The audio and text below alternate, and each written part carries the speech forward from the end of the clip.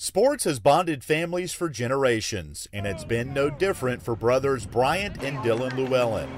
Their story of faith, family, and football began as little kids growing up in Danbury, North Carolina.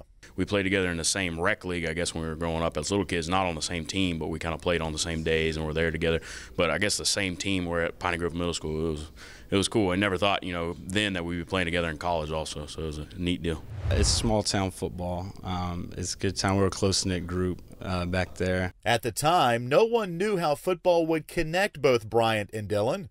As they grew older, their next stop together was playing in high school for the North Stokes Vikings. We were able to play on the varsity team uh, together for uh, one year, and um, my sophomore year, his senior year they kind of call it the dream team back there at North when we had some good winning seasons there in a row, a couple of times like that.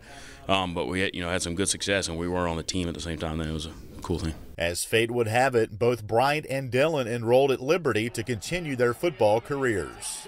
I came and visited Liberty with my mother, and, and they said, you know, we want to build champions for Christ. And I said, well, you know, this is the place that I need to be, even if I got to walk on, or even if that means not not playing football, which I really wanted to do, really wanted to continue to compete at the collegiate level. I wanted to be a part of this uh, this uh, vision of building champions for Christ, and then I could I could glorify Christ through my play on the football field, and that's just something I really embraced, something I really wanted to be a part of. After playing together as siblings for three years at Liberty, Bryant and Dylan now find themselves in a unique situation as player and coach.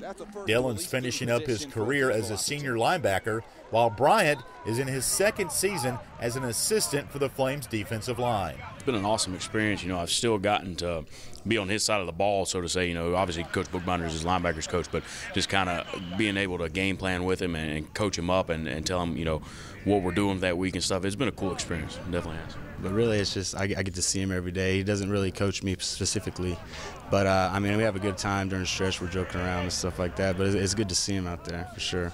For Game On, I'm Alan York.